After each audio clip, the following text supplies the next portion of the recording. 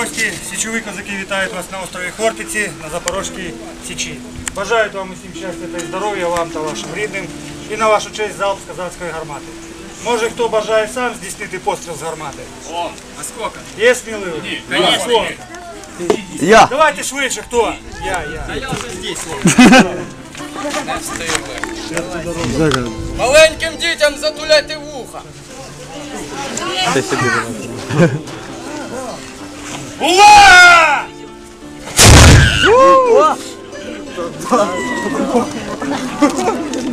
Ула. Усі чують. Да. Добре. Взагалі козаки використовували багато різноманітної зброї, як то холодної, так і вогнепальної. До вогнепальної зброї відносили самопали, піштолі, мушкети, аркебузи, фальконети, гаківниці тощо.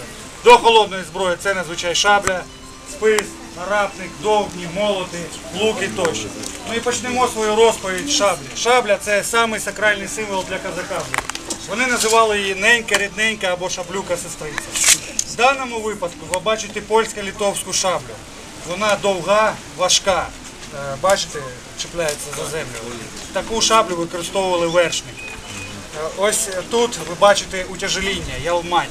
Це було зроблено для того, щоб саме потужний рублячий ріжучий удар був десь на 30% від довжини клинка. Ось цією частиною козаки тільки приймали удари або захищалися. Ялмань загострений як з цього боку, так і з цього боку. Це для чого було зроблено? Якщо казак не влучав, щоб не робити такі довгі по колу рухи, е, багато часу на це виходить. Якщо не влучав, відразу рубав з цього боку, також ріжучі, рублячі рани е, залишаються. Ще одна шабля, це шабля більш східного типу, е, Османська імперія, вона коротша, лег- легка і дуже швидка. Якщо е, важкою шаблею зробиш один рух, то цією вже можна декілька рухів зробити і тим самим перевага. Зараз покажемо, як козаки володіли шаблею. Давай, брате. Якщо козака поранили під час бою у праву руку, він перехоплював у ліву і працював лівою так же, е, як і право. Але козаки на цьому не зупинялися удосконалювали своє володіння шаблею використовували одночасно дві шаблі в обох руках. Це захист. Підійти до нього як спереду, так і ззаду майже неможливо. Він захищений з усіх боків.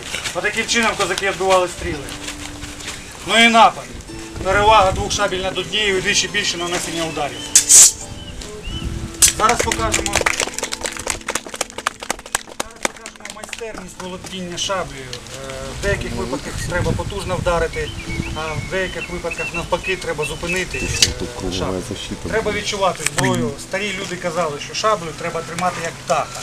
Е, Якщо дуже потужно, міцно схопив, затушив птаха. Якщо послабив, птах полетів. Тому потрібно відчувати зброю. Зараз я буду бити по дерев'яній колоді, але не з усієї сили, а десь на 20-30%. Без замаху. Бачите, наскільки воно входить в колоду, в дерево. Уявіть собі, що буде з тілом е, чоловіка. Зараз я спробую розрубати кабачка на руці у козака. Якщо я щось не так зроблю, то я можу його дуже травмувати. Руки не тремтять після вчорашнього. Я дивлюсь, ти захищився да? після вчорашнього.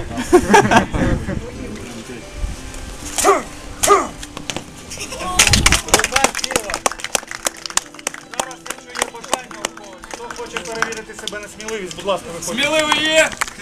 Я. Тебе рукавиця є. Походу он. Ну тримай так.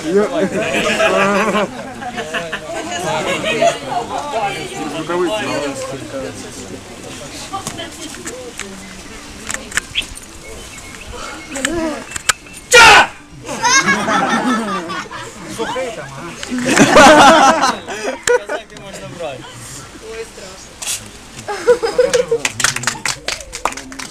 Може ще хто бажає? Потім ви.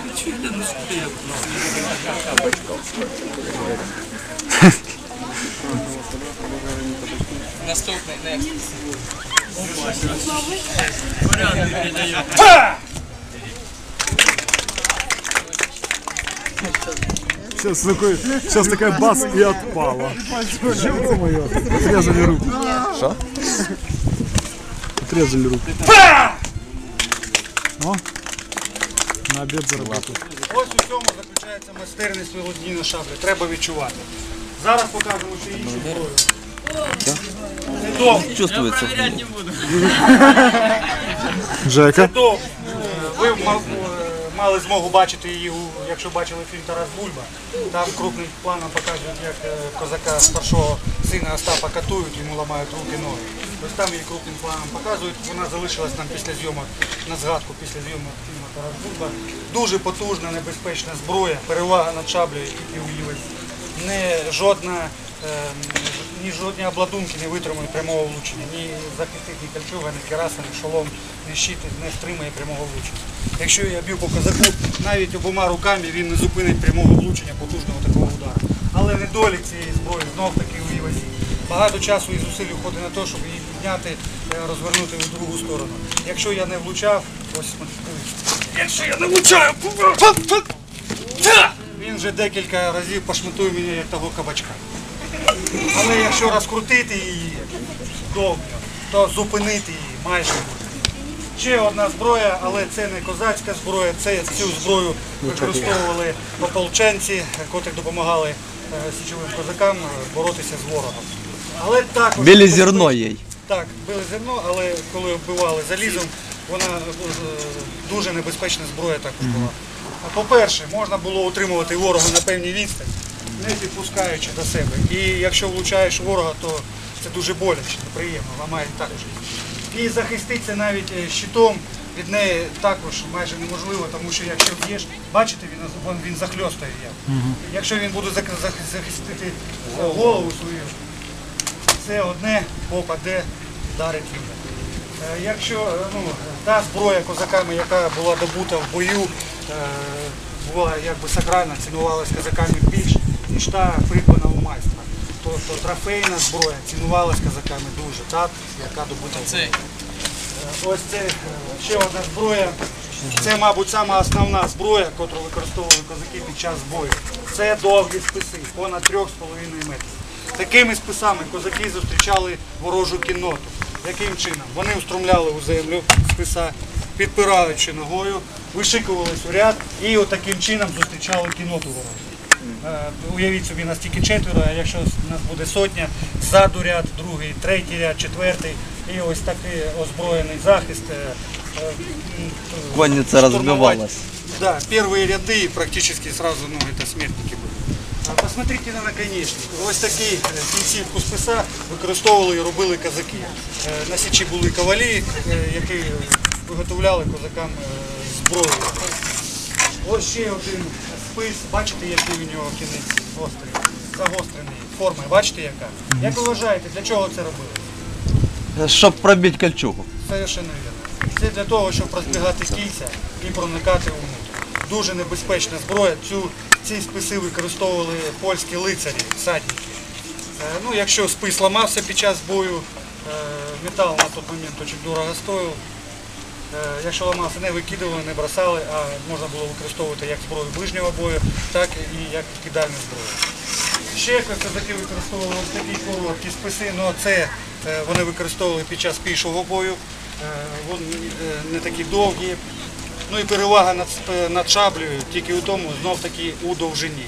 Можна утримувати ворога на певній відстані, не підпускаючи, робити такі рухи по колу і знов таки не підпускаючи ворога.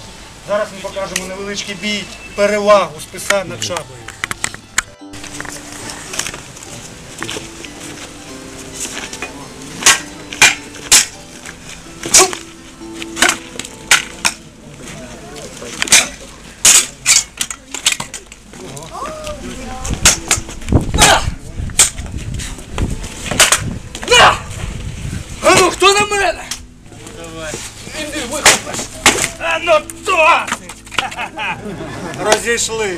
Ну затанцюй у мене. А зараз потоки схлопочуть.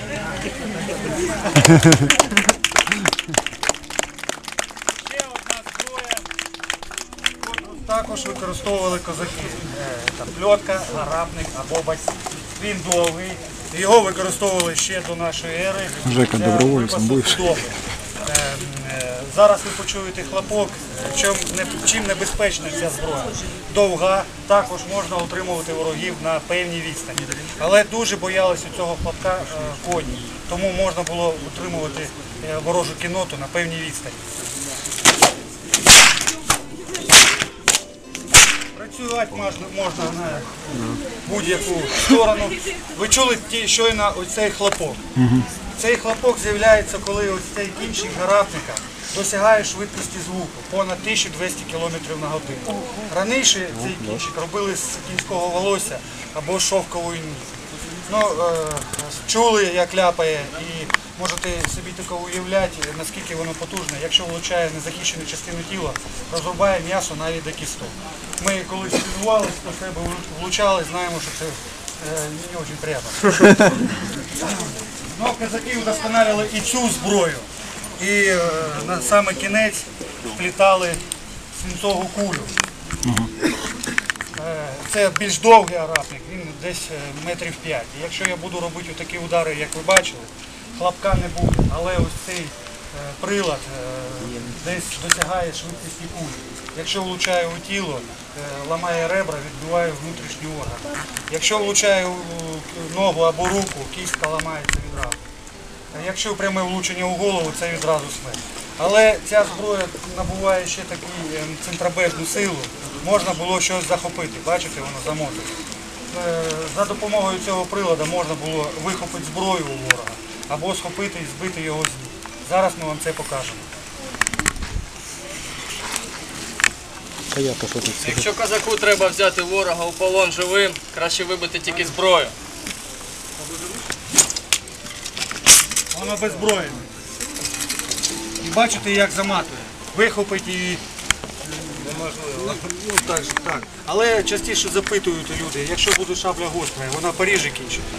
Мабуть, поріже, але щоб ви уявляли собі, під час бою ніхто не буде ось так от примірятися і бити йому в шаблю. Краще бити в незахищені частини, або руку, локоть, плече, ногу, коліно, або краще відразу в голову. А шабля не була остра сама по собі. Я показував, яка частина була гостра, а Да. яка не була. Ворог обезброєний мог і втікти. Щоб такого не було, треба його підсікти. І ще раз. Втік ворог. І одразу в'язати.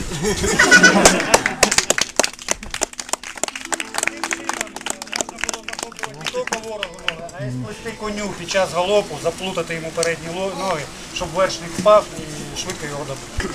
Зараз ми покажемо вам ще одну зброю, яку використовували козаки. Зараз козак Наливайко детальніше про неї розповідає.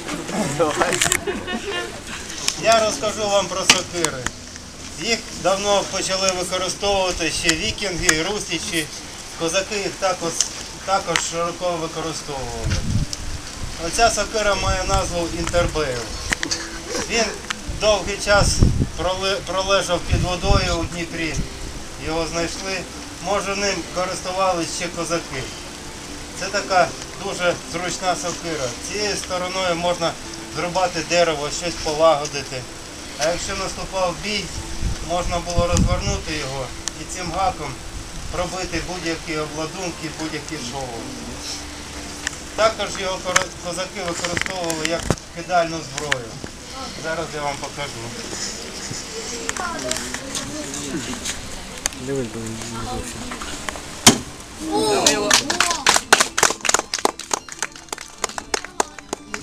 Якщо ворог був в обладунках, в шоломі, то треба було кидати оцим кінцем вперед, цим гаком. Він міг пробити будь-що. Менш товщина, тим потужніше тіло. Бачите, як він ходить.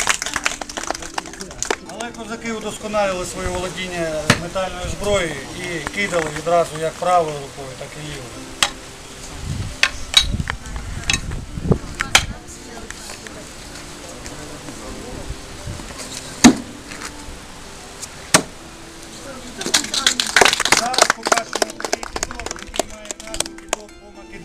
Це одночасно з обох рук кидаються киди.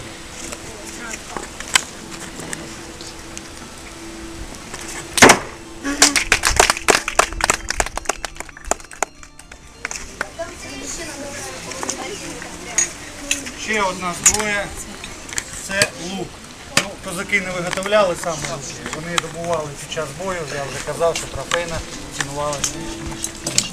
В даному випадку ви бачите копію татарського луку. Він короткий. Е, такий лук використовували вершні. От уявіть собі, якщо я сиджу на коні, ось тут голова, ось тут круг. Під час галопу, коли конь скаче, дуже зручно, не заважаючи йому стріляти майже у всі боки. Якщо буде довгий лук і конь буде йти в галопі, дуже незручно переносити туди туди, тим самим заважаючи лошаді робити свою справу. Зараз ми покажемо вам козака пластуна. Е, Козак-пластун це козацька розвідка була. Вони використовували ось такі плащі. Бачите, він такого майже кольору, як і земля. Його основна е, задача була е, підползти до ворожого стану, перерахувати війська або зняти охорону. Він зараз залягає і з відстані майже 100 метрів його майже не помітно. Якщо буде якась трава або кущі, його майже не помітно. Перевага лука над вогнепальною зброєю тільки в тому, е, що її не чути. Поки ворог розуміє звідки напад, він вже відстріляє ось цей ковчан і непомітно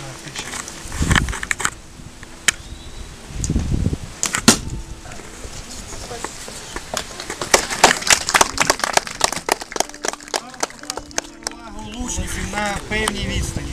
Поки ворог е, намагається скоротити відстань і добігти до нашого війська, лучники працюють і виводять із строю багато частин війська. Зараз по черзі. Готуйсь! Бий! Ще раз, усі разом. Готуйсь! Бий! Ого! Готуйсь! Бий! На цьому наша невеличка вистава закінчується. Дякуємо за увагу.